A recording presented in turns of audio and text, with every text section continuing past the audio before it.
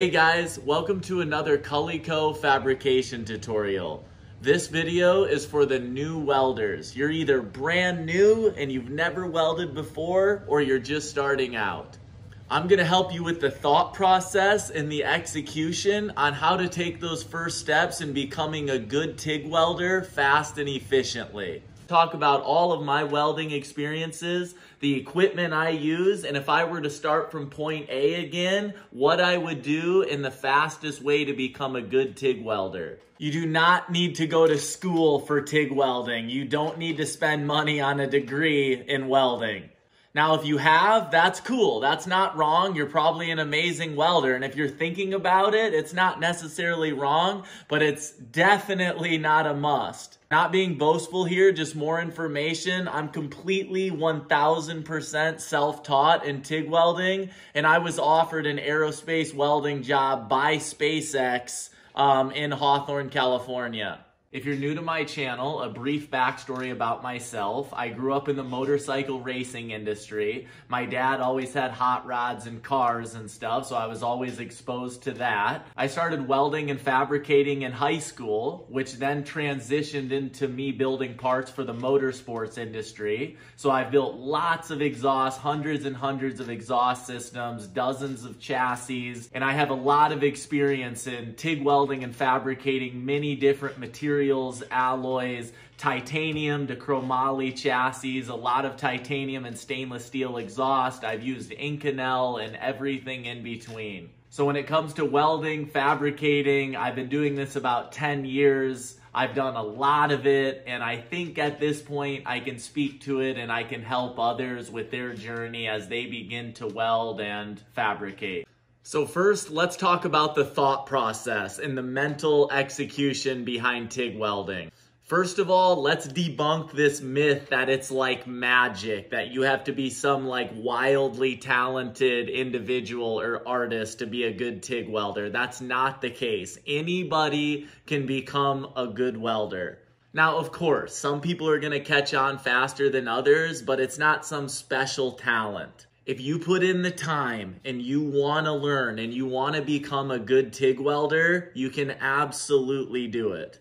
So get that out of the way. And I'm even going to take it a step further. When you get a TIG welder and when you start welding, you're going to be surprised at how fast you can get good. As long as you're practicing on a weekly or a daily basis and you're trying and making the effort, you will get better. You will get better a lot faster than you think. Now, as for the welder or the actual machine, Yes, there is a difference in quality in machines, but a quality machine is not going to make you a good welder. If you don't have a machine yet and I could make a recommendation, I would go with a Miller Dynasty product. Now they're a little spendier. I have the Miller Dynasty 210, but I think for water-cooled TIG welders, they're really hard to beat. If you have a Lincoln or an air-cooled model or something else, don't worry, you can still weld really, really good with those models. In fact, I started with a Lincoln air-cooled TIG welder in high school when I first started. The machine does not make the welder, but in time, having a quality machine does have its advantages. So we're not gonna weld today. On my channel, you can see tons of different welding videos, different materials, techniques, weld settings, everything. First start welding, you need to just put in the hours, just weld like crazy. And I would recommend just getting to know your torch, getting to know your foot pedal, and just start on flat material. Don't weld anything together at the beginning and just watch your pool and just play with the different heats and the different temperatures.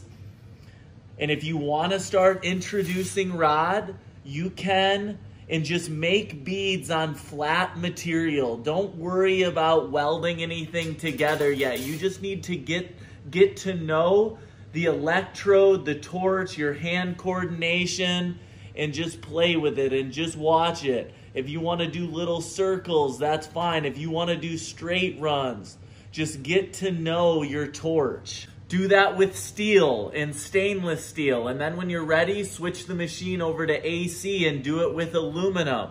Just play with the puddle. That's all you need to do right now is, is to get to know your torch Then, when you're ready, take two pieces and just butt them up. Tack it, tack it, tack it, and then just work on flat butt welds like this. Just run your torch. I would recommend just fusing it. Get to know fusing the material. And just weld these up. And then slowly, if you want to, start introducing rod. After you've spent days playing with the, the puddle and the torch and doing simple butt welds, then start grabbing different materials, different thicknesses. Just go to your local material shop, buy some aluminum, steel, stainless steel, you know, eighth inch, 16th, 50 thousandths, get thin stuff, thicker stuff.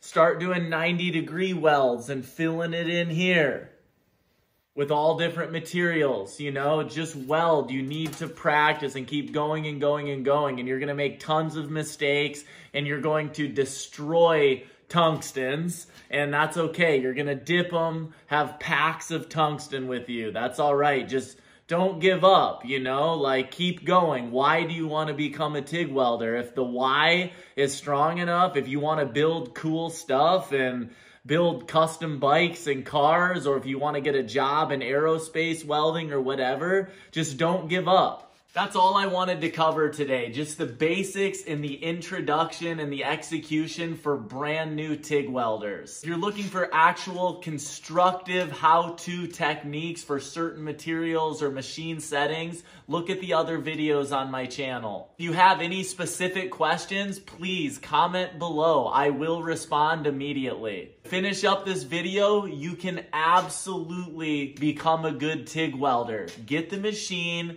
start welding, practice every day, every week, every month, and I promise you, it will come faster than you think and you will be a good TIG welder in no time. Checking out this video, we'll see you on the next one.